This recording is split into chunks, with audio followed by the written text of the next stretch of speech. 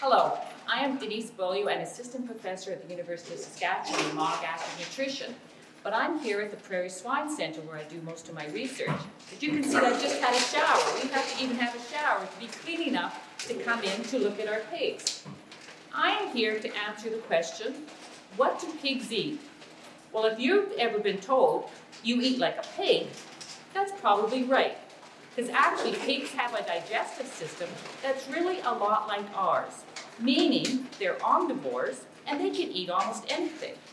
But actually, what we feed them is primarily mixtures of grains, things like wheat or barley, or byproducts from other industries, like canola meal or soybean meal, which are left over when they buy, when they process canola seed or soybeans to make canola oil or soybean oil. Um, here you can see some examples of what they eat. For example, this is ground corn and wheat.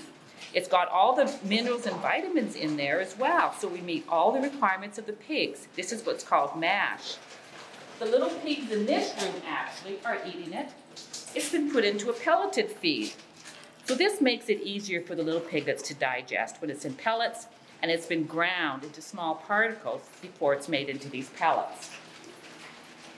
I mentioned canola meal and soybean meal, and that is really important.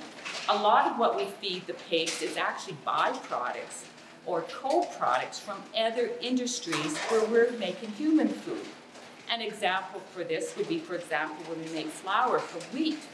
There's screenings and byproducts left of that that the pigs are perfectly capable of eating and turning into good protein. So we're doing a lot of research in this area to see how to use foodstuffs that are not normally used for us as humans, but the pig can turn these products into very good protein and at a low carbon footprint. So it's a win-win. Good for us to eat, good protein, and good for the environment. So the next time somebody says to you, you eat like a pig, you can say, thanks, that's good.